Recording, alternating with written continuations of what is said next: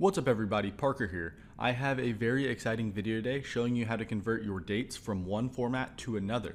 I had done a video on this previously, but the method involved turning your dates into text, but that's no longer necessary because of the September 2019 Power BI update. So I'm gonna go ahead and show you in this example how to turn your dates from the month, day, year format to the day, month, year format.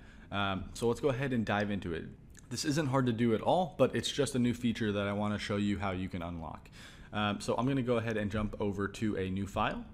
So in this file, I don't have anything down on the page. Let's go ahead and throw in a quick visualization just using our two fields, our date field. And I'm going to remove the hierarchy. And I'm going to throw revenue into the values. And just to uh, filter this page down to a few dates, I'm going to filter this date down to uh, let's just pick our first five dates. And I'm going to go ahead and uh, make the x-axis categorical so that we can see those values. So we can see by default we have the month, day, year format. That's because I'm in the United States and uh, that's how it is defaulted in this version of Power BI. I'm going to make this a little bit bigger so it stands out. I'm going to make the uh, x-axis larger so that we can see the changes. Um, so now all you really have to do is go over to the modeling tab and go to the date field. And if you scroll down, you now have this uh, little formatting uh, fields here. So our data type is a date. We want to leave it as date. Um, but we can see that our date time format is coming in as this month, day, year, year, year, year.